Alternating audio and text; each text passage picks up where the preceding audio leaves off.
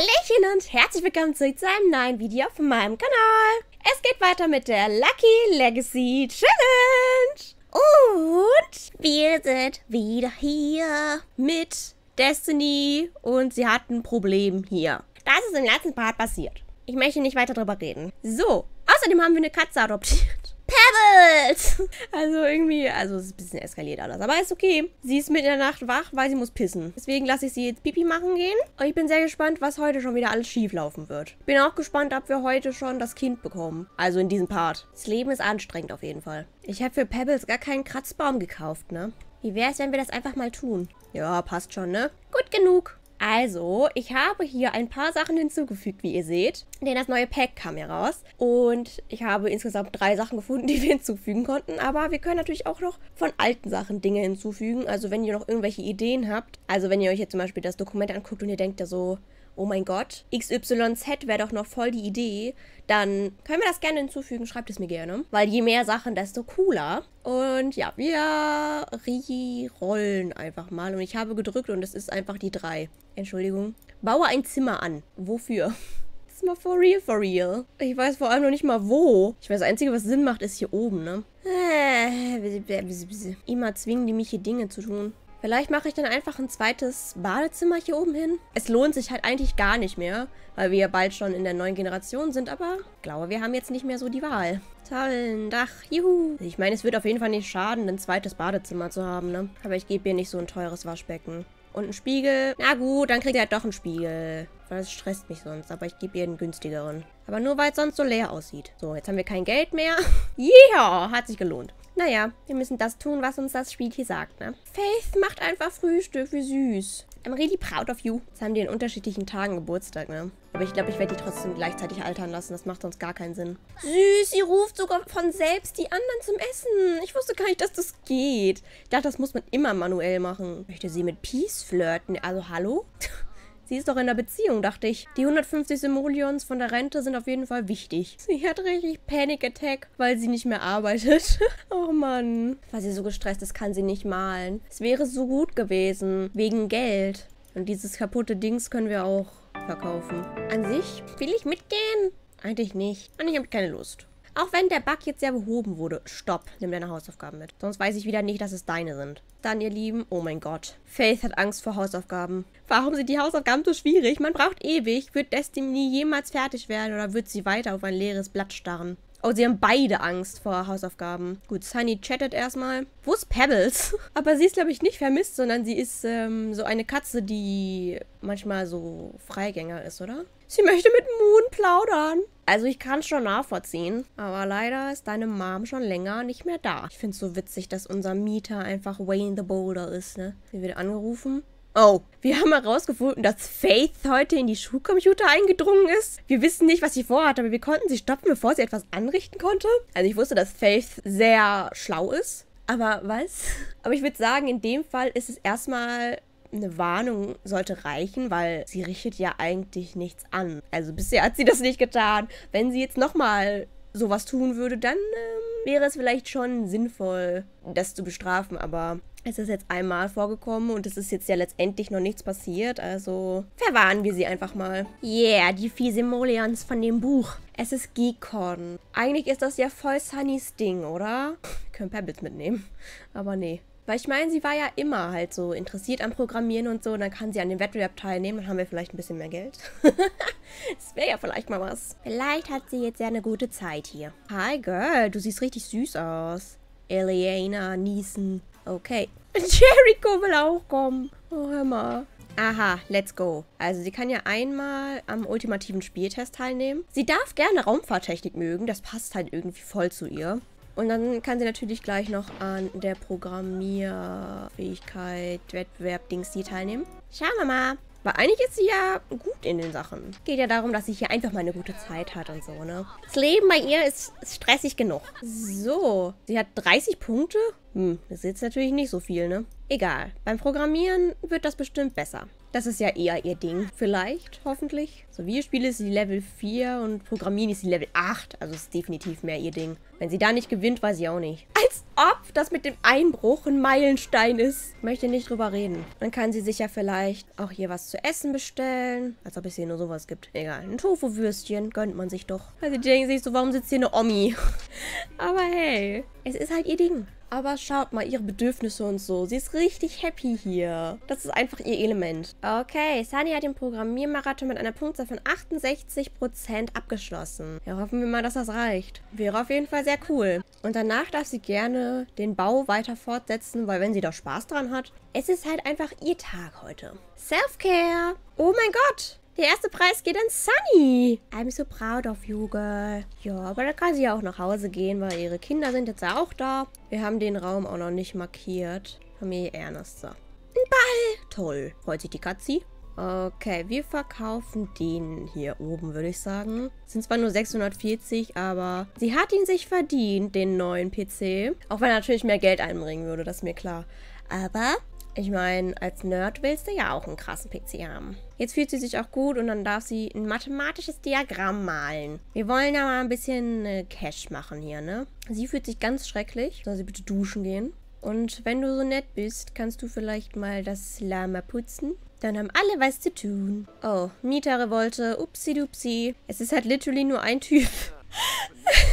Und er so, ich, ich bin so sauer. Ja, hi, wir versprechen natürlich bessere Bedingungen. Ich meine, ich kann verstehen, dass man sich beschwert, wenn man nur in diesem kleinen Haus wohnt. Ich habe das gemacht. Oh mein Gott, Last Exception. Hä? Ich verstehe mein Leben nicht mehr. Egal.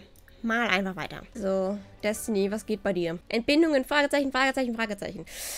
Uff. Beruhigend streicheln, das ist vielleicht eine Idee. Pebbles ist für dich da, Girl. Die verstehen sich auf jeden Fall auch richtig gut. Das liebe ich ja. Ich habe das schon wieder vergessen. es ist das beste Bild der Welt. Peace fragt, ob wir rüberkommen wollen. Okay, wir gehen aber mit Faith. Als ob sie hier wohnt. Aber vielleicht hat sie auch gemerkt, dass, dass man vielleicht erst drüber reden sollte. Destiny ist total verknallt in Peace. Hallo, du bist in der Beziehung. Wieso ist sie uncaring? Sie ist richtig gestresst. Cosro möchte eine Verabredung.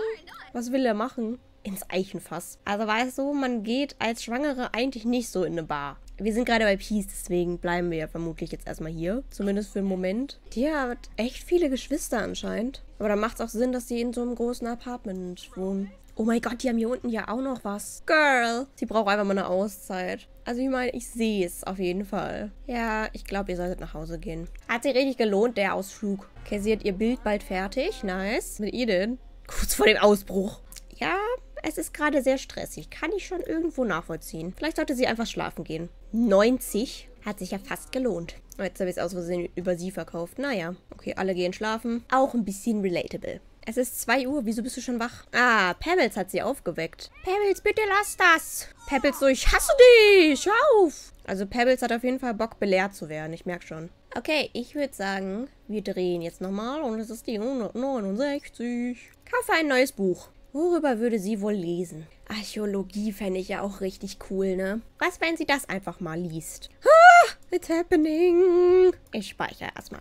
Wir machen natürlich mit und wir nehmen natürlich Cosrow mit. ist ja das normale Krankenhaus, ist ja langweilig. Ich habe jetzt keine Lust, das zu ersetzen. Hallo, ich möchte mich bitte anmelden. Cosrow ist richtig überfordert mit seinem Leben. Sie hat gar keinen Bock. Und ich kann es absolut nachvollziehen. Ist Cosrow abgehauen?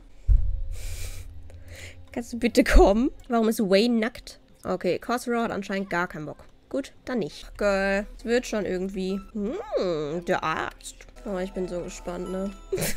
so, Faith ist zur Schule, das freut mich sehr. Es wird bei dir jetzt nicht so ganz funktionieren. Es ist ein Mädchen, oh mein Gott. Wieso kriegen wir immer nur Mädchen? Ich habe mir gedacht, ich habe keine Vorschläge bekommen und irgendwie fand ich es auch sehr, sehr schwer, irgendwie was Eigenes zu finden. Ich habe eine Liste mal angelegt mit Namen für meine Babys. Deswegen können wir den ja auch einfach randomisieren. Ich habe 47 Namen für Mädchen. Okay, jetzt schauen wir einfach mal. Es ist die 25. Marlin. Süß. So, dann markiere ich mir das mal. Dann heißt sie wohl Marlin. Süß. Ich hatte kurz Angst, dass es Zwillinge wären oder so. Aber scheinbar nicht. Sie hat ihr erstes Mal ihr Kind auf dem Arm. Crazy. Sie ist natürlich sehr gestresst darüber. Jedes ist dasselbe. Wir haben es leider nicht geschafft, dass wir sie vorbereitet haben. Vernünftig. Ich habe mich gerade gefragt, wo stellen wir eigentlich das Baby hin? Also ich meine, im richtigen Zimmer ist es auf jeden Fall schon. Vielleicht muss ich das Zimmer mal ein bisschen umstellen. Ich tausche vielleicht die Betten. Das ist jetzt nicht optimal, aber es wird schon okay sein erstmal. Geh zu deinem Girl. Gott, jetzt spukt es auch noch. Ist der bei uns vor allem? Weil stand nicht, dass es bei den anderen ist. Uff, uff, uff, uff, uff, uff, uff, uff. Also, wir können auf jeden Fall schon mal einmal drücken Attempt to Bond. Der Direktor ruft an. Ja, das ist jetzt unser größtes Problem, weißt du?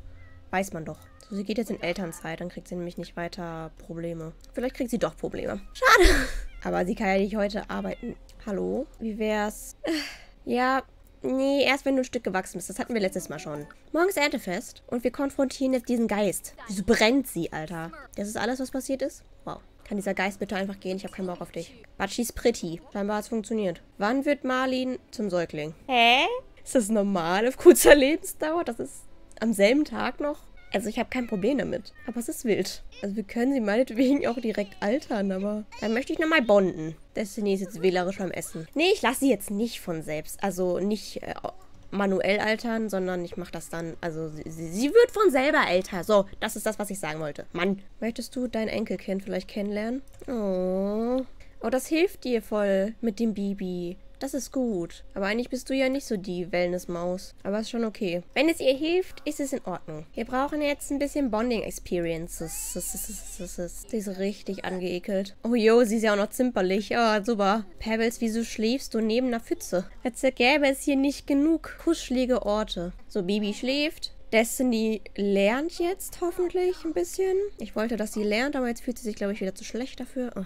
Aber Sunny malt gleich nochmal. Sie geht einfach von selbst an das Projekt, ne? Wie süß kann man denn sein? So, jetzt lernt sie aber. Yay. Ist wichtig alles. Faith ist auch zurück aus der Schule und sie ist auch sehr sauer. Hallo Peace, what up in the club? Peace möchte mit Destiny zum Abschlussball gehen. Nein. also freundlicher Basis hätte ich jetzt noch gesagt, ja, aber nee, bin in einer Beziehung. Sie hat ein Kätzchen gemalt und wie viel bringt das? 300. Let's go. Sie ist einfach sehr traurig jetzt. I'm so sorry. Abfallbeauftragter. Hallo. Sie geht duschen und dann kann sie ja Marlin mal kennenlernen. Wir können nochmal bonden. Schon Level 2 der Erziehungsfähigkeit. Holla die Waldfee. It took a bit of time, but Destiny is now at peace with child. So, und jetzt sag doch mal Hallo zu deinem... Zu deiner Nichte. ich muss gerade überlegen. Oh, die hassen sich jetzt gerade richtig. Was ist da los? Die streiten sich richtig. Hallo? Ich glaube, sie ist sehr enttäuscht. Ich bin keine Pflanze. Wahr. Ja, vielleicht sollten wir sie jetzt dann doch selbst altern, weil ich habe Angst, dass ich das sonst nicht mehr schaffe mit dem Umstyling und so. Deswegen machen wir das jetzt nochmal fix. Happy Birthday to you. Oh mein Gott, SMS-Notfall. Warte auf eine Antwort, bitte. So, okay. Marlene, du bist Sensibel. Relatable. Hallo, Girl. Let me take a look at you. Sie ist zwar nur zweieinhalb Tage ein Säugling, aber trotzdem möchte ich, dass sie süß aussieht. Hallo. Wir machen das mal nicht im Zeitraffer. Ich weiß nicht, ob sie ihrem Kind so eine Bob-Frisur geben würde. Wie wär's denn mit sowas? Süß. Nee, ich find's eigentlich süß. Nehmen wir. Diese Sportkleidung hier drin. Säuglinge können nicht mal Sportkleidung haben. Ich habe vergessen, welche Jahreszeit ist. Ich habe neue Sachen runtergeladen. ich liebe es. Hasi! Oh mein Gott, ist das süß. Ja, da kann ich halt nicht Nein sagen, ne? So, und jetzt noch so süße Söxlis. Oh, ist das süß. Das werden wir nie sehen. Aber es ist egal. Für mein Gefühl muss ich das hier trotzdem machen. Cutie. Kann sie bitte ein Hasi sein? Weil ich lieb's so sehr. Imagine, ihr schlaft damit. Ich lieb's. Also ich wäre so into it. Oh mein Gott, ist der Hut süß. Das ist doch nicht mal Custom Content. Look at this. Diese Fuchsschüchen, ne? I can't. Also Säuglinge, also auch im echten Leben, wenn ich durch diese Abteilung laufe, ich denke mir immer so, ich will alles haben. Ich möchte all diese Sachen für Erwachsene. Danke, lieben Gruß. Die werden diese Schuhe immer verlieren. Aber egal. Now the cute hat. I like it a lot. Wir bräuchten so kleine Stiefelchen. Das wäre so süß. Oha, die Mütze geht ja über die Ohren. Was ist denn da los? Süß, süß. She's a bunny girl. Aber wer bin ich? Same. Überlege gerne, was du machst, ist, glaube ich, eine gute Antwort auf sowas. Das Problem ist, passt hier denn so ein Bett rein? Ich weiß nicht, ob das jetzt noch funktioniert. Versuch mal. Oha. Okay. Könnt ihr noch die Tür benutzen? Oha! Okay, alles gut. Ja, dann ist ja alles tutti. Wie süß sieht sie aus. Khosrow möchte vorbeikommen. Ja. Aber wenn das hier so funktioniert, dann ist ja alles tutti. Hi, Boy.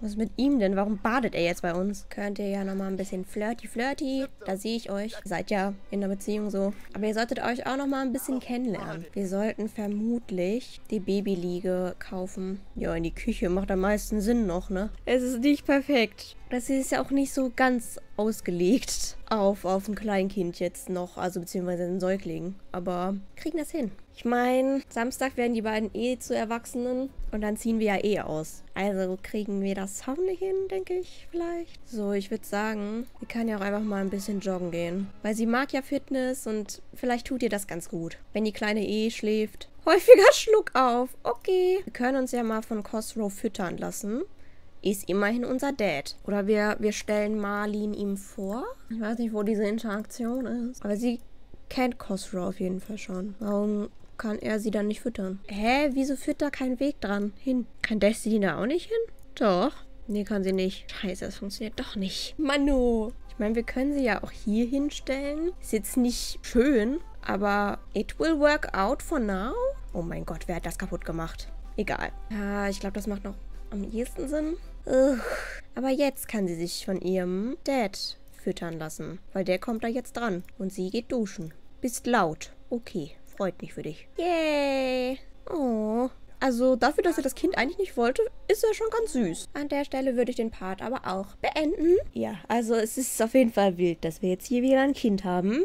Also sehr viel früher als erwartet. Ich bin auch sehr gespannt, ja, ob wir dann mit Marlin weiterspielen und so. Kommt dann drauf an, ne?